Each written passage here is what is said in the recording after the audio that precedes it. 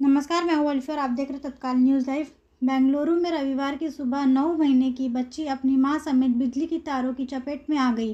Police ने इस घटना की जानकारी देते हुए कहा कि तेईस वर्ष की एक महिला और उनकी नौ महीने की बच्ची रविवार तड़के यहाँ होप फार्म के पास फुटपाथ पर लावारिस पड़े बिजली के तार पर गलती से पैर पड़ जाने से मौत हो गई।